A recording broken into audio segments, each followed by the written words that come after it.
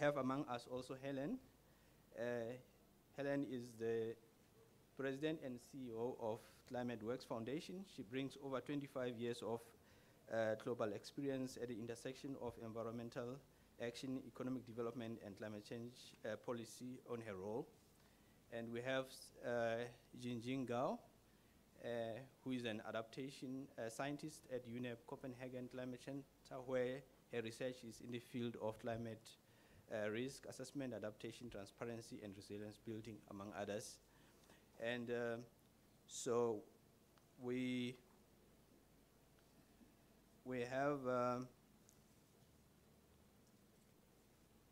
just to to be sure that I have all the speakers. Um, I think uh, my notes here are mixed up, so I think we'll like to invite you as well. Uh, is um, Fernando? Yes, Fernando. And uh, Fernando, if we can just briefly tell us your work so that I don't misrepresent you. Mm, good morning, everyone. I'm Fernando Castellanos. I'm with the UN Global Compact uh, business-led initiative in the United Nations.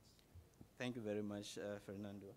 And uh, we have Shingi, uh, who is also uh, a research group leader at the CSIR, and his work involves aspects of climate change welcome to the uh, to the little floor. Thanks.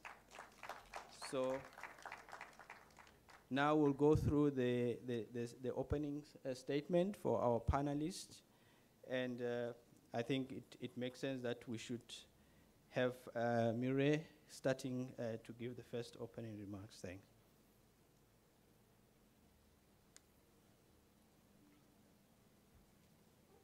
Please, uh, uh, over to the to the podium. Thanks.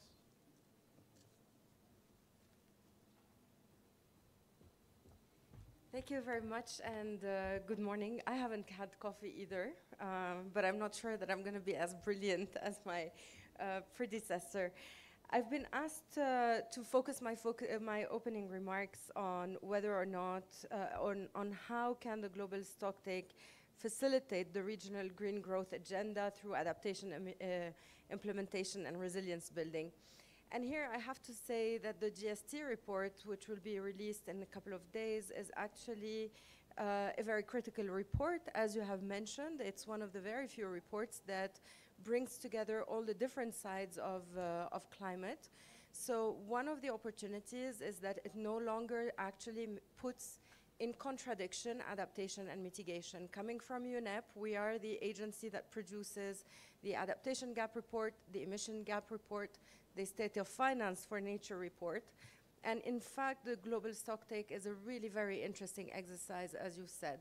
It enables us to see opportunities that are both, um, that have both uh, um, advantages for adaptation and mitigation. I'm thinking about, in particular, in the continent, in the African continent, we have a trend towards um, megapoles, megacities, urbanization, uh, the whole issue of cooling, of designing urban environments in such a way that they reduce, reduce both uh, their greenhouse gas footprint, but also are uh, ably and adequately adapted to the future of climate is something that is a huge opportunity that can generate also one of the challenges from the adaptation and resilience point of view is that oftentimes it is not perceived as a bankable, financially interesting investments. In, in, in general, we see that what is bankable is more on the side of renewable energies, energy efficiency, everything that brings investment and has a return on investment. Whereas on the adaptation side, it's usually touted as this is where you will have economic impacts on the long term. So if you invest today, you will reduce those impacts on the long term. That's not how businesses are run today, or that's not how the financial rationale is run today. And so the GST actually give, gives us this opportunity to think about those dual dividends um, on both uh, sides of adaptation mitigation, makes adaptation, has the potential of making adaptation much more interesting for investment, for private sector to start footing the bill. The Standing Committee on Finance, all reports on the gap in finance have already told us that we already we rely very heavily on public finance as opposed to private finance for adaptation. How can we bridge that gap? Because this is truly where the real money is. And so the GST actually provides this fantastic opportunity. And as was said earlier, um, uh, the GST has innovated in its approach in that, first of all, it's taken these different regional approaches that are building up towards the global report. And second of all, is that it started to acknowledge state, non-state actors' interests and uh, perspectives. And so that also uh, creates a very enriching, uh, enriching report, an innovative report. Uh, so maybe, maybe lastly, um, it's, I think it's important to acknowledge the fact that we have been for the longest time communicating around climate change um, as a risk. Now, maybe it's uh, with the GST, there's an opportunity to start communicating about climate change as an opportunity. Uh, first and foremost, it's an opportunity to start changing the system. The system records, uh, whether it's in domestic uh, um, accounting systems, whether it's at the global level with the multilateral development banks, Metrics are usually very much uh, focused on growth, very much focused on return on investment, very much focused on job creation and employment. However, everything that is related to the degradation of the natural capital of natural capital is not accounted. Risks, climate impacts are considered as, or natural hazards are coming out from the, from the emergency relief uh, budget of governments.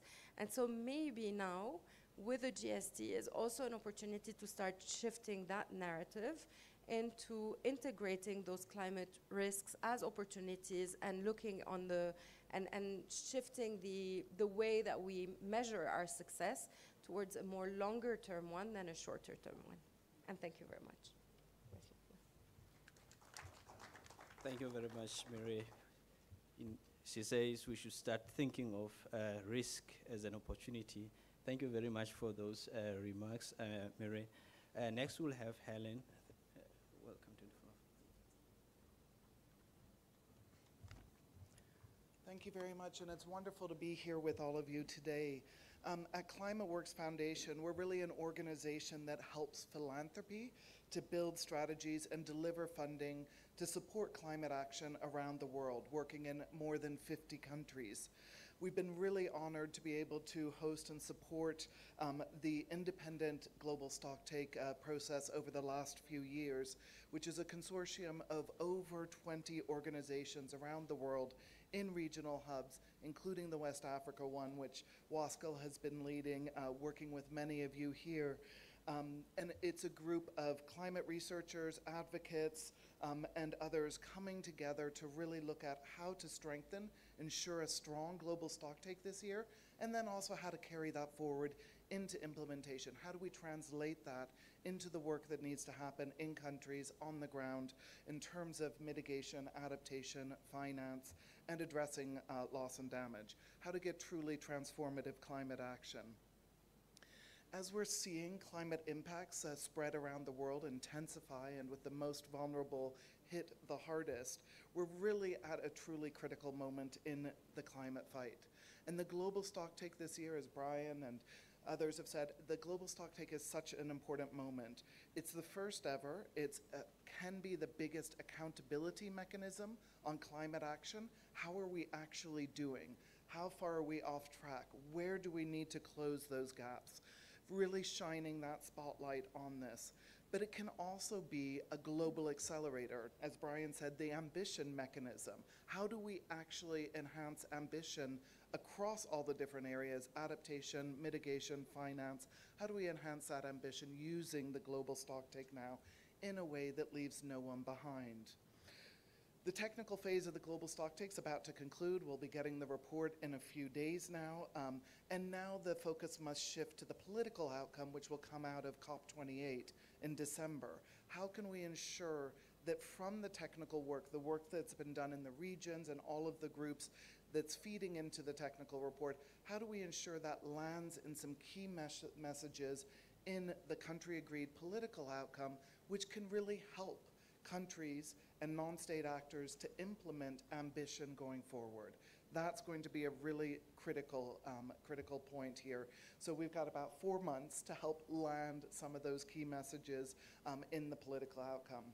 And I just wanted to highlight uh, five of the key messages we think are going to be important to land there to help guide countries going forward with the kind of ambition we need.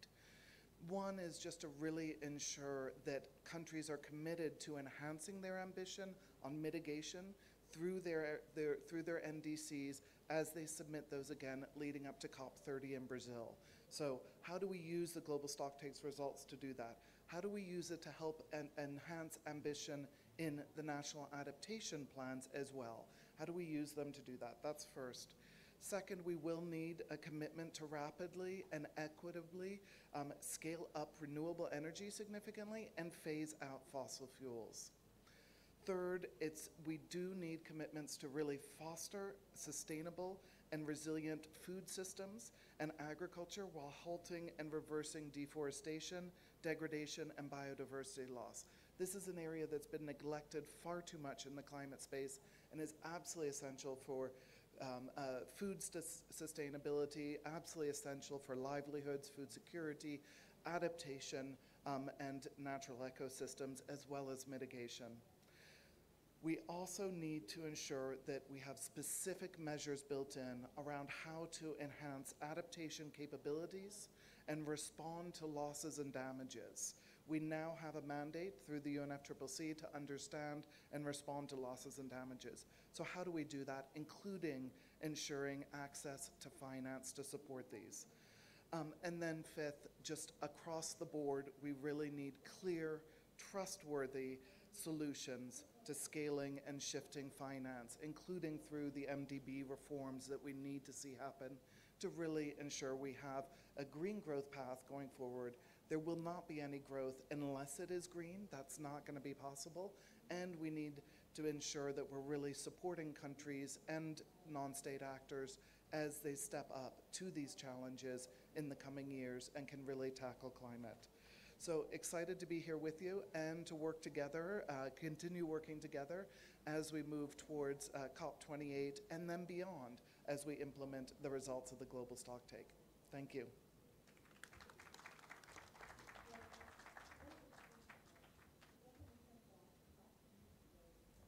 Thank you very much, Helen. A very succinct summary and focus on how we can turn the outcomes of the global stocktake into uh, outputs on the ground with emphasis on things that are really relevant for the civil society organizations. Uh, next, we will have um, Fernando uh, giving his uh, statement. Thanks. Thank you very much. Uh, good morning, everyone. Um, so as I mentioned earlier, I'm with the UN Global Compact, where we aim to mobilize businesses uh, around 10 principles, including on, on environment. Um, so I like to think of, uh, of the Global Compact. Uh, we're not um, ad, uh, advocating for businesses, but we're advocating for the UN uh, with businesses and trying to move them um, towards climate action, among other uh, issues. Um, and we know in, in the context of the GST, um, sort of the process in, uh, in the context of assessing where we are towards the 1.5 degree goal and, and uh, or the two degree goals of the Paris Agreement, we know the outcome of, of that assessment. Uh, we know that more ambition and more action is needed. Um, and, and, these are words that have been around for over a decade. Um, but an important aspect, as, as it has been uh, noted before, it's the forward-looking aspect of the um, GST that it's really relevant and really important. Um, and it, it, as we look forward beyond the global stocktake um, this year, or the first global stocktake, is how do we translate the NDCs, the NAPs, into policies and regulations that will help uh, create enabling environments for businesses to put the money, put the investments, dedicate research, and, and have both innovation in in investments that will help both mitigation and adaptation. The businesses you know, in, in the region, in, in all of Africa and West Africa, they need a, a predictable and long-term policy environment uh, that will help them in all of the stages in their climate journey. And they need to understand what that journey would entail. Um, they need to assess the climate risks, both physical and transitional risks, and then look forward, how would they uh, put their money, put their investments, their capital to generate more growth, more income, um, more jobs that will help the region and be more resilient and be um, more flexible in adapting to, to the adverse effects of climate change while also addressing mitigation uh, aspects. Uh, th those, the, both aspects need to be addressed by the private sector. Um, and so the, the global stocktake, um, I think it, it, it, needs to, to serve as an overarching framework that will help facilitate a coordinated multi-stakeholder um, action um, and, and, in this respect, the, the, as was mentioned, the, the, innovative approach of the global stocktake, where there's um, roundtables, dialogues, there, there's a, series of um, events and, and, different structures to get inputs from various stakeholders has been really valuable, and hopefully that will continue as we move to a second global stocktake and, and, and define what that second uh, GST would mean and where we would want to be, and, and and it is now the, um, the time to define um, how we want to get there and ensure we can address um, climate change in, in the best possible way. Thank you very much.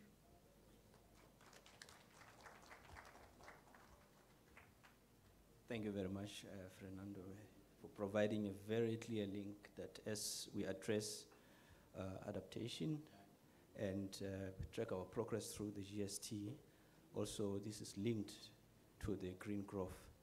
Um, so we are done with the statements now. And uh, I would like to highlight that there will be, uh, next we're going to move to the panel discussion.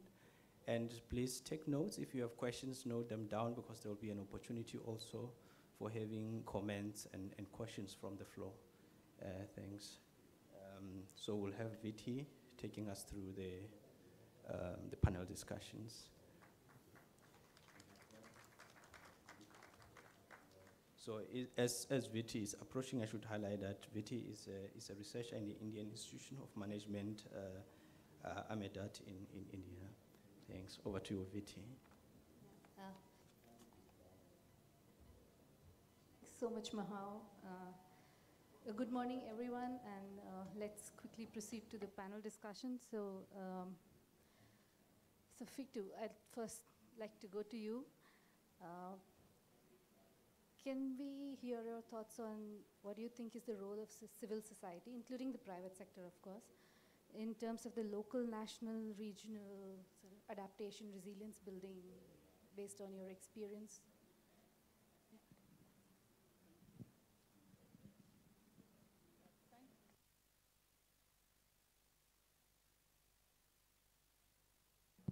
Yes, thank you so much.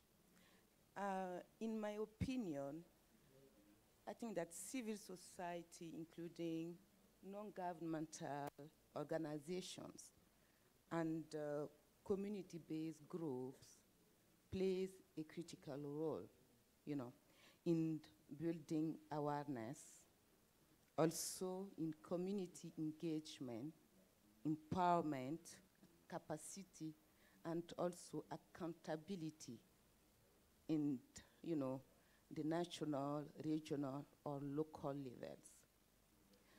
They often, I mean, that civil society often act as advocates, but also as knowledge brokers and community organizers, but often serve as watchdogs because they are watching if uh, the adaptation strategy are well implemented you know, on the ground. And they're also watching if the national governments are doing well, you know, while accounting for their climate actions and goals. Civil society also acts as advocates, you know, and also um, knowledge brokers, as I say. On the other hand, if you take the private sectors, you know, the, the corporates, they are playing a role of bringing financial resources, innovations, technologies on the table. And they're driving economic growth, but also contributing to adaptation strategies. Collaboration between civil society and private sector can help well address climate challenges and help nations and regions you know, to adapt themselves and also to build resilience and uh, for economic growth and also for national growth.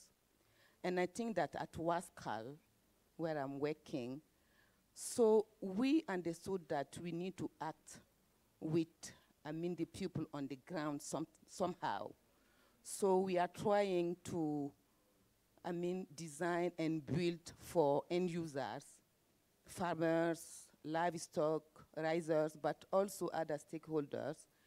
We are trying to develop what we call climate services, climate and environmental services for them, so that they can use and try to cope with, you know, climate change, you know, impact. And uh, by doing so, uh, we were able, as you see, you know, to collaborate with CSR, but other partners, to build what we call, I mean, the IGST West African Hub. Uh, we engage at the moment more than 300 civil society organizations working together on the ground, you know, to implement all those adaptation strategies and to help people advance. Thank you so much. Uh, thank you so much, Sofitu, for your remarks. Um, Mire, if I could invite you for a quick uh, intervention. You, you mentioned about uh, treating climate as an opportunity, not a risk, and you do see we need a lot more intervention from private sector. So um, I was wondering, what do you think at the local, regional, and uh, you know, sort of national scale, how could that?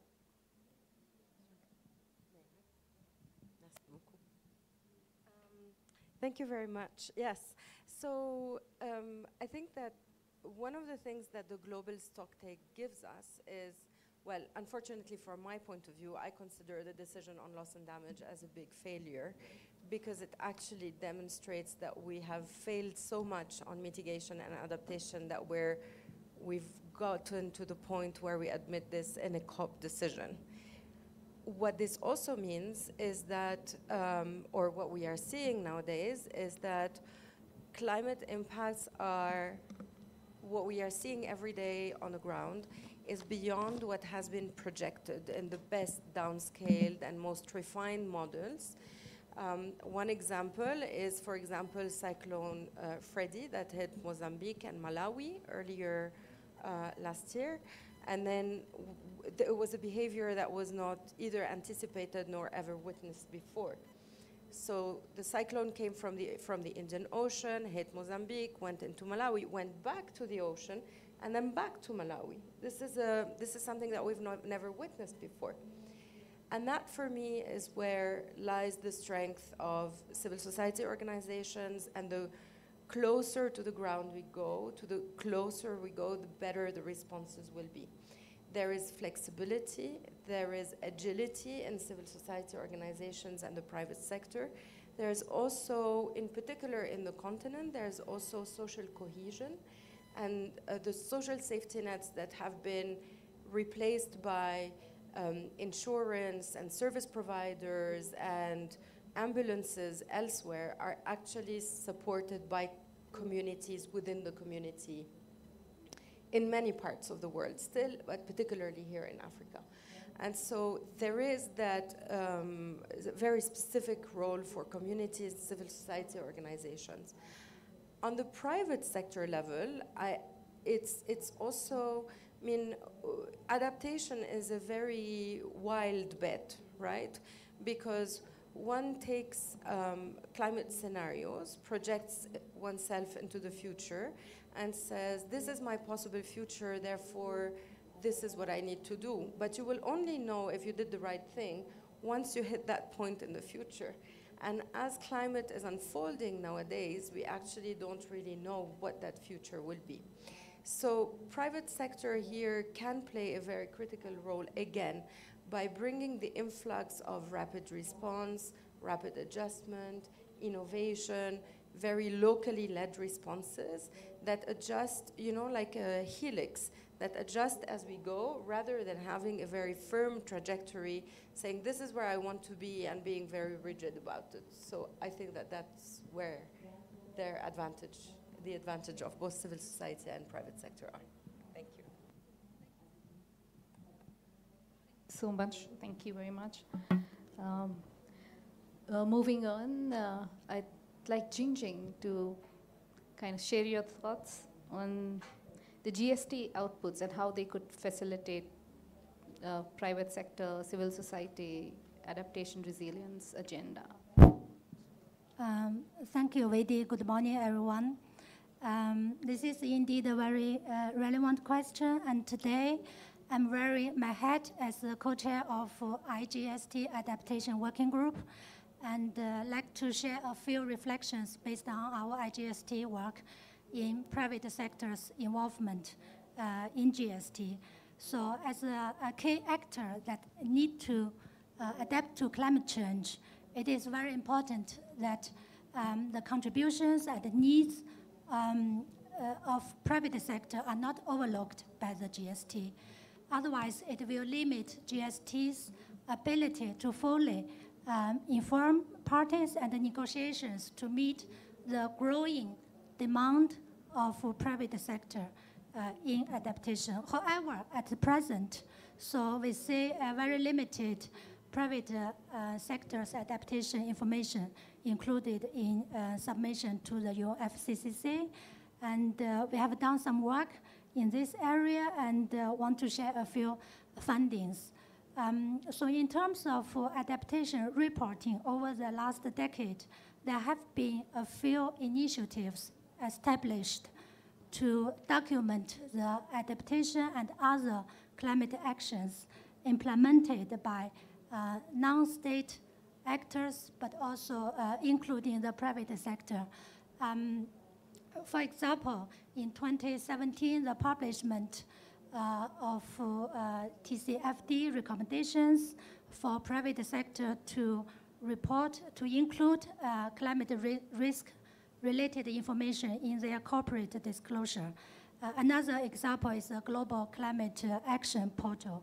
However, uh, due to the high-level nature of those initiatives uh, and the significant differences between, uh, I mean, uh, uh, in their functions and objectives, it makes very difficult to compare and aggregate those data reported under those initiatives. And that reduces the potential uh, for those initiatives to be considered by the GST. So to facilitate uh, private sector to increase the uh, um, quality and quantity of uh, adaptation data. So there are a few things that uh, GST output could, uh, could provide support here. For example, it could provide, facilitate the greater focus on, on climate change um, adaptation, reporting, capacity building towards private sector. So to um, understand and communicate their climate risks and adaptation measures uh, uh, in their disclosure, uh, corporate disclosure. It can also provide technical uh, guidance for national government, for example, to um, guiding their domestic private sector uh, in their corporate uh, disclosure in alignment with TCFD recommendations. And that helps the national government to consider, to track and assess um, those data provided by private sector and report them accordingly to the UFCCC. I'm happy to answer any questions. Thanks.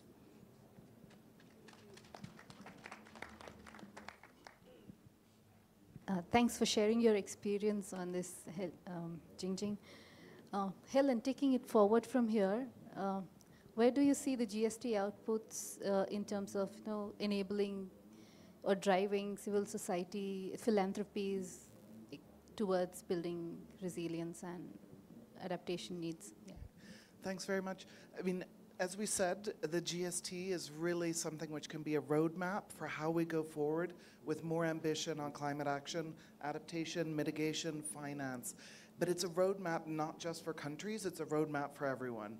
We know we cannot deliver the kind of transformative change in the systems we have, whether it's the food and agriculture system, energy systems, cities, urban systems, financial system.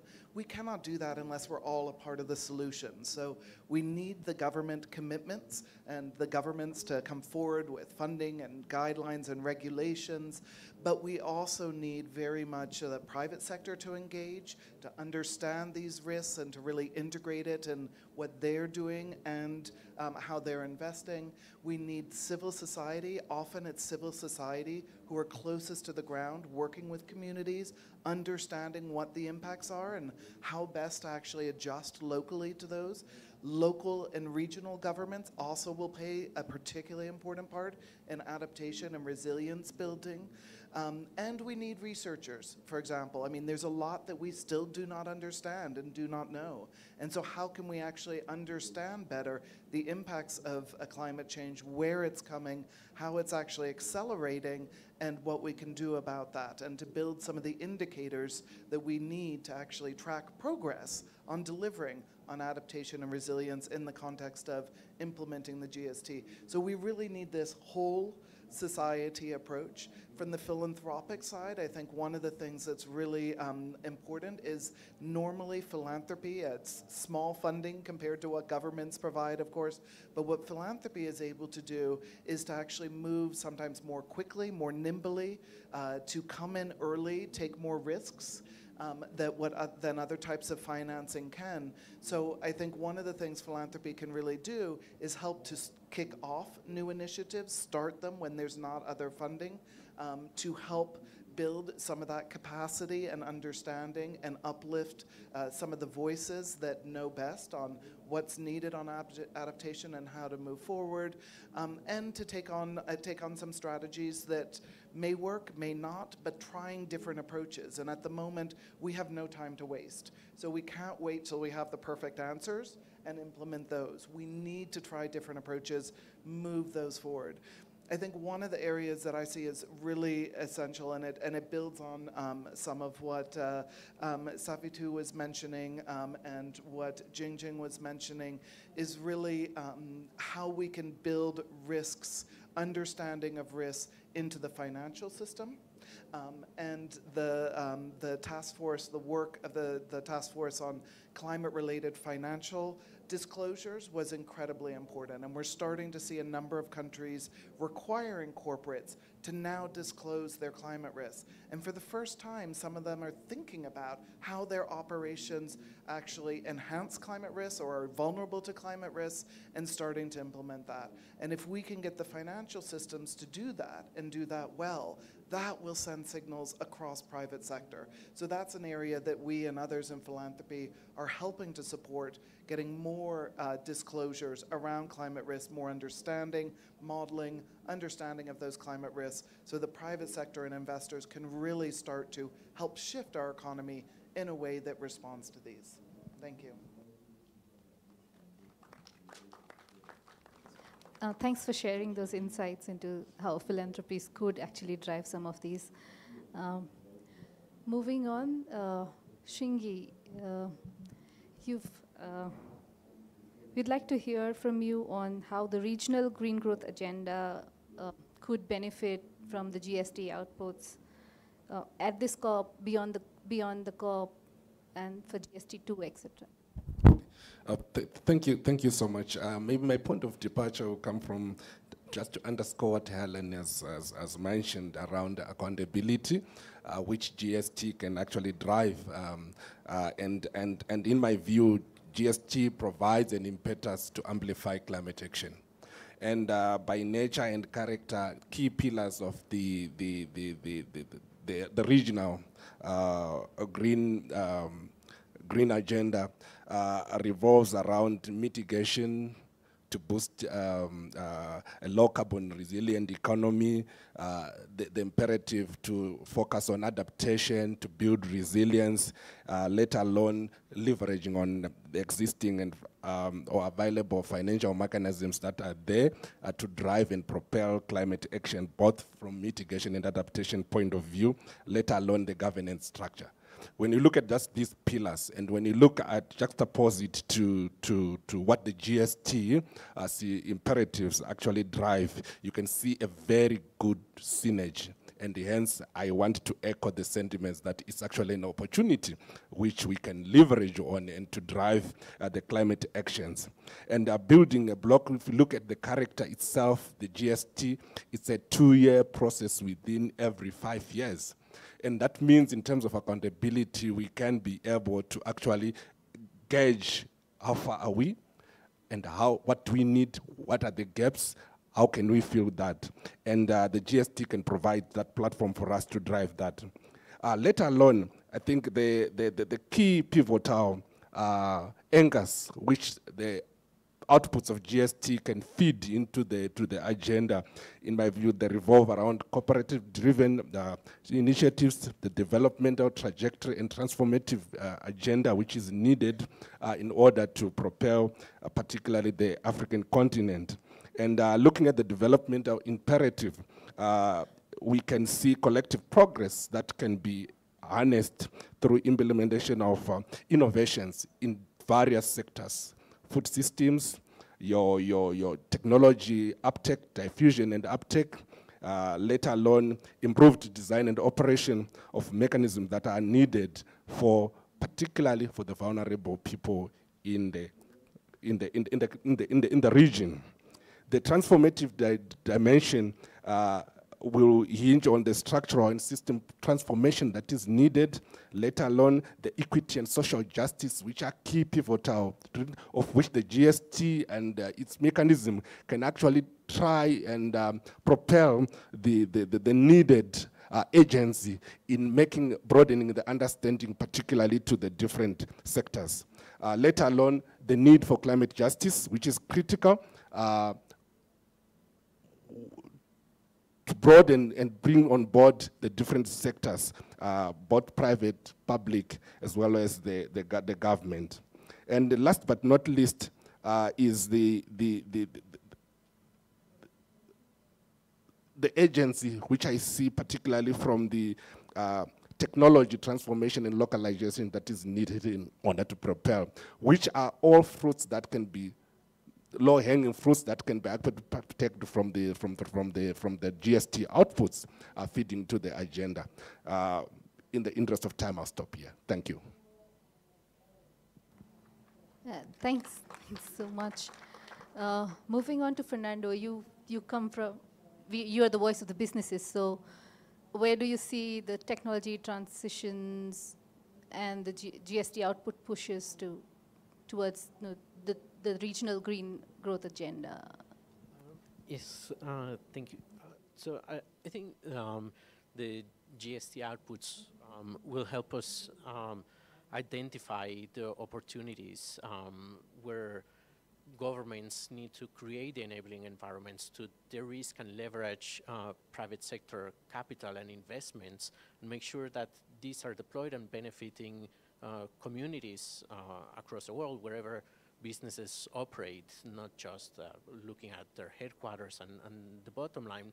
And I think the GST, um, as a process that also seeks to be in, uh, taking into account the inclusive and just and equitable uh, transition towards green growth, uh, it's an, an important uh, mechanism to, to have that dialogue among various stakeholders, including the private sector. I think it's important um, to know that uh, the fact that a, a, a, specific company may have huge profits, that doesn't mean that they know how to address climate change. That may uh, that doesn't necessarily mean that they know how to um, de-risk uh, their investments in terms of climate or how do they, you know, what actions they need to uh, reduce greenhouse gas emissions. It is not a, a given that, uh, that there's a direct correlation between profits and uh, capacity and knowledge uh,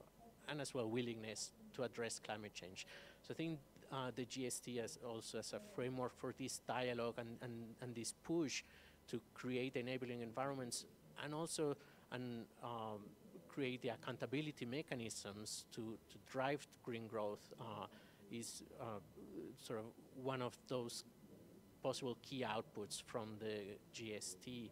Uh, how do we create growth, grow, uh, create jobs, uh, growth GDP, uh, have increased incomes, but that in a way that is inclusive, just, and equitable. Um, so I, I think the, the multi-stakeholder aspect as well of, of the GST and that it is, uh, as, as it has been said, not just a one-time thing. It is not just a, a, a, a, thing that is to end at COP28, but it's looking into the future and it helps us a roadmap to look then towards the next uh, GST and what actions are needed uh, to be implemented, including by the private sector. It's uh, really important. Thanks so much. In the interest of time, I'd uh, ask the audience to please uh, bring in your questions. Uh, please introduce yourself before you uh, pose, and also please mention who are you directing the question to on the panel.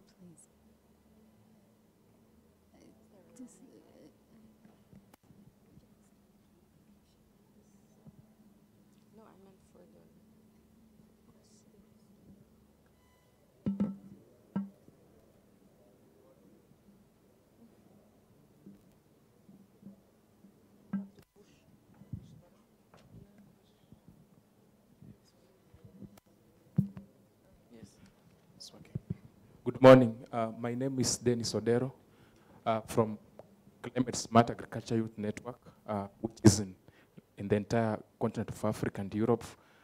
And as, as here, I represent more than 1 million youths. So my question is to the whole panel. Is there a space for the youths in your organization? Because we are working with the local uh, communities, but I've not heard you mentioning that. Thank you.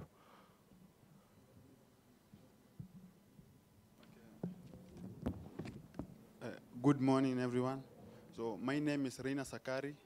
I am the founder of uh, TWF to Juvenile Wildlife Foundation, a newly established wildlife foundation to protect and conserve biodiversity, and also finally a final year student of international relations and diplomacy. So wildlife conservation and climate action can no longer be treated as isolated efforts since they are the same side, uh, since they are two sides of the same coin. So my question to the panel is, what are some of the organizations and foundations that are willing to collaborate with youth-led organizations such as TWF to conserve biodiversity in Kenya and beyond. Thank you. Uh, can we just take the responses first? I'll invite the panel to respond and then uh, there's one more. Yeah, sure. Morning, everyone. My name is Orlando Frederick of Anfield Properties. I basically deal with property owners in advancing uh, environmental conservation. My question is to Helen about the five points you gave us. Number four was about capability and loss and damage financing.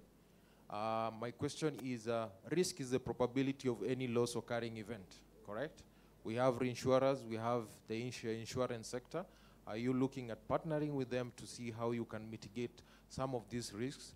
And how can uh, somebody like me access this kind of financing? Because you also talked about damages in finance how can I access this? Because it's a good platform that you're having this discussion. Thank you.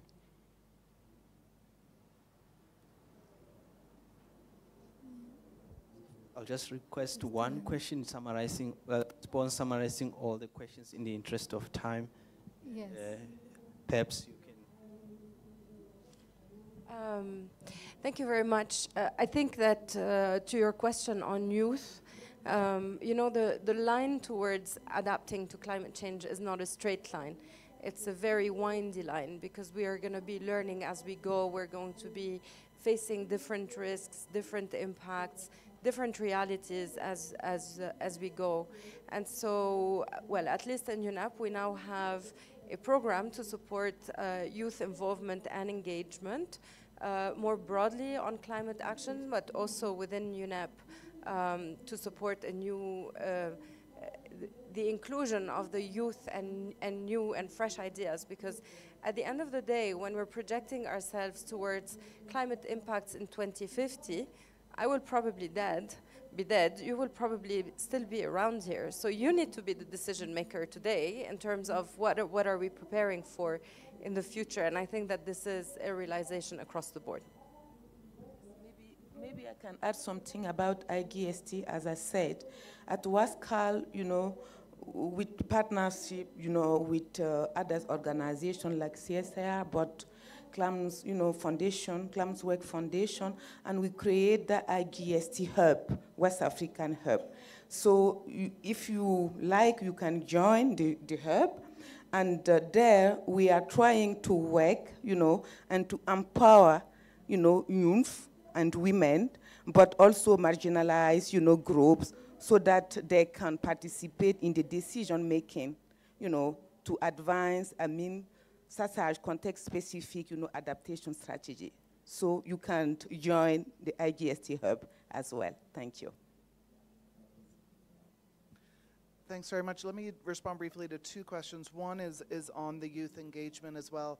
And in ClimateWorks, we support a range of projects around the world, but two of the ones I'll give examples of that are really youth focused. One is this fantastic um, climate youth youth climate justice fund that started, which is really supporting youth who are advocating on the ground for climate action in countries in the global south and helping to get funds to them to support the activities they're doing. So it's a wonderful organization, and I strongly recommend uh, connecting with them and seeing some of what they're doing. And so that's one area we're supporting. And a second is there is a group that's really starting to mobilize youth voices in the negotiations to help train up uh, those who are engaging in the ne negotiations from a youth perspective and ensure they're able to access those discussions for the reasons others said. I mean, this is, this is important. This is a moment about the future, um, and it's the youth who are going to be uh, most impacted. So having their voices heard is so important. So those are two areas that we're helping to provide some funding to support.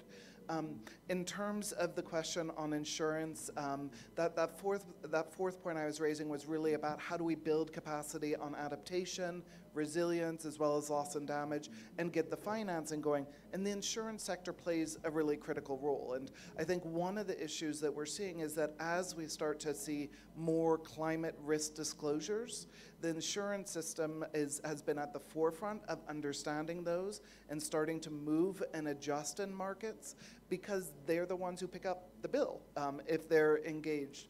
Uh, we're seeing, and I'll give an example from the United States. I live in California, um, in both California and Florida, which, is, which are both subject now to, to many climate impacts, um, flood events, uh, storms, tropical storms, wildfires, um, drought, um, what you've actually seen is a number of insurance companies have said they will no longer insure homeowners in Florida or California. They've pulled out. And that is a market signal. It's a harsh one, but it's a market signal saying this is not where we should actually be living, really. We need to adjust. So now what we need is mechanisms that can help people to transition to areas that are safer. But certainly the insurance, the insurance system, there's some of those who are best able to understand the climate risks because it's their job. They need to understand those. So bringing them in as partners in this discussion is really essential on adaptation and resilience and finding solutions that work for people. Thanks, Helen. Uh, if, if you guys don't mind, the way I fear we might overshoot the carbon budget, I, I'm also afraid we might overshoot shoot the time budget for the event. So I'd like to, if we could take the questions offline. Uh, yes. Thank PESP. Thanks. I'll officially close the panel. So please take over. Let me thank you, Betty, and the and the and the uh, um, and and the panelists for really sharing uh, sharing ideas on this topic clearly there are more questions from the audience. I would really encourage that you engage our panelists as the day evolves because some of the questions are really important to carry forward. we have an important announcement uh, to make. So uh, uh, to end, I would like us to have a round of, applause for our panelists as they go off the floor. Thank you very much. So we will have Dr. Hackman, who is a, a, um, a scientist at the WASCAL. He has been given an opportunity to, to lead a project called uh, uh, uh, the formation of the IGST West Africa Hub. He's going to make an announcement for us today as he approaches the stage. Um, I like.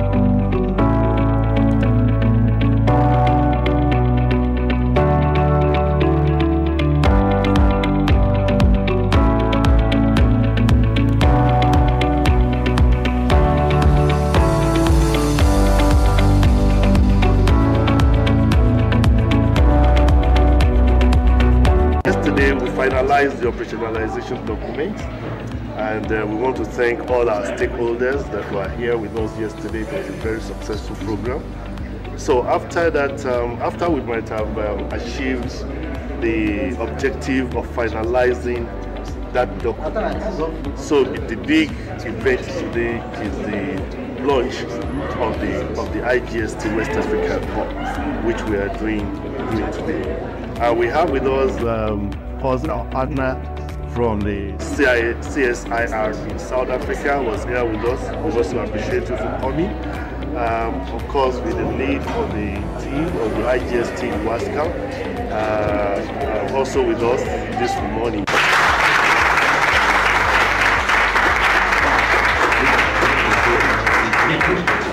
It has been a wonderful day, these two days, the validation and then the, the launch of the hub. The hub has been opened now, so I think uh, the process has been duly completed and we are still going to take other steps to make sure that uh, this particular hub is what is supposed to be.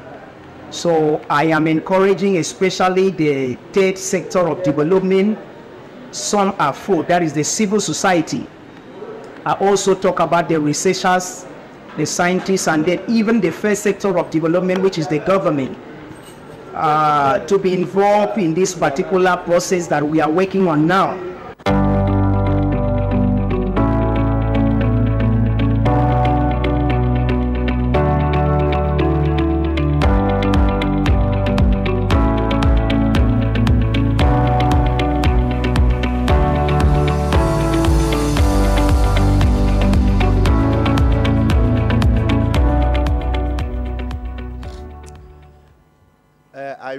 Want to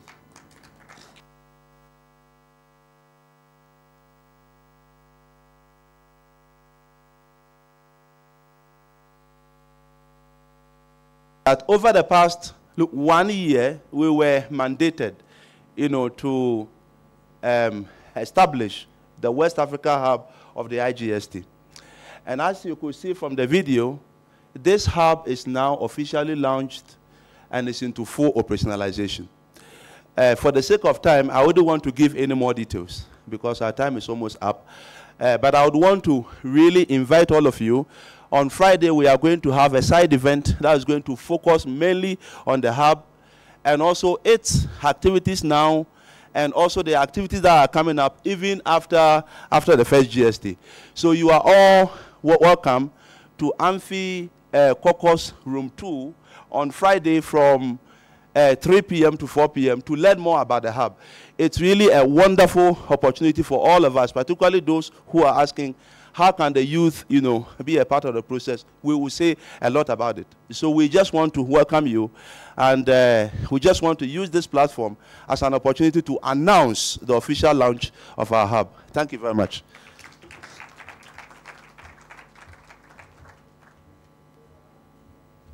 Thank you very much. I would like to invite, uh,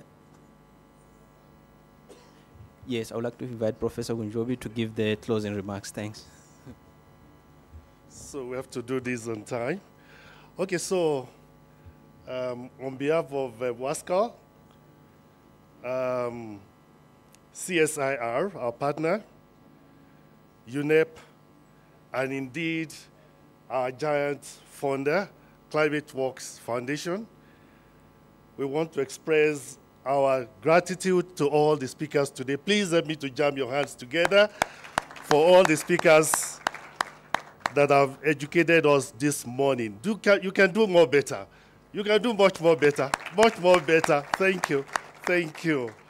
Uh, we want to thank all the speakers once again uh, for the insight that you have given to us on this um, very important topic uh, on global stocktake and green growth um, agenda. We are also excited um, on the number of participation that we had here this morning, despite the fact that um, we, we, we, we started our program aside event at 8 a.m., but now you can see that we'll almost have a full house. So please, all participants here, all our national representatives, all our partners, please put your hands together uh, to appreciate uh, your presence here also this morning. Uh, we are particularly very, very grateful. Um, Helen, Helen has stepped out. We want to uh, specially recognize and thank our founder, the ClimateWorks, uh, for funding this, um, uh, this project and for making the West African IGST hub a reality. Please help me to appreciate um, ClimateWorks Foundation by putting up your hands also together to appreciate um, ClimateWorks. We appreciate you very well. Um, I've been signaled that time is fast spent. Uh, we'll be rounding off again. We are grateful to all this um, extensive discussion that we had this morning. I think um, we have delved into a critical role that global stocktake plays in advancing regional green growth um, in our society. Um, as we move forward, let us continue to carry on this insight that um, we have gained here uh, this morning, um, especially in our respective roles and responsibility. Let us work together to harness the potential of global stocktake as a powerful tool to accelerate progress towards a more resilient and sustainable world. Um, I would like again, on behalf of all the organizers of this side event, to thank you once again for your active participation and valuable contribution. Let us continue to build upon this momentum that is generated here this morning um, and strive towards a greener, more resilient future for our region and our planet as a whole. Thank you and do have a wonderful day.